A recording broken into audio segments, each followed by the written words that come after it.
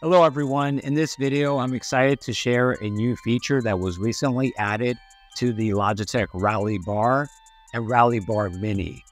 So with the latest release of CollabOS 1.12 and up, there's a feature called multi-touch display support. So with this feature, you can have two Avocor interactive displays connected to the Rally Bar in Microsoft Teams rooms, appliance mode. So as you can see here, I have my Rally Bar, and on the left side, I have an Avocor H series, and on the right, we have an Avocor E series. And this really allows you to optimize that meeting experience and maximize the capabilities of your Avocor displays. So these are connected with HDMI and USB. So both HDMI 1 and 2 are connected to the Rally Bar, and the MTR is running from the Rally Bar. Now, I'm just going to go ahead and join this meeting I had here on my calendar to do just a one click join. Right.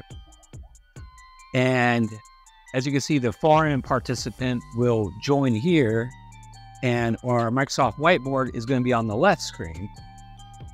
Now you can see we have touch on both screens. I launched a call from there, and now I'm going here on this whiteboard that's being shared within the call, and I'm controlling this feature right here. So we can co-create, collaborate, work to together with everyone on that call.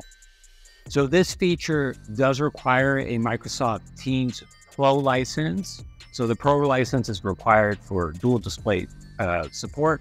And also, if you want to do front row, uh, that's also a capability that's only available with the Pro license. So I'm going to go ahead and switch to front row. As you can see, I'm doing this from the right screen.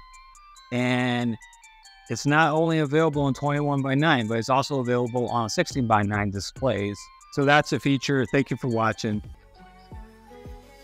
If you'd like to learn more, please go to avocor.com and there you'll find the latest information of our products and services.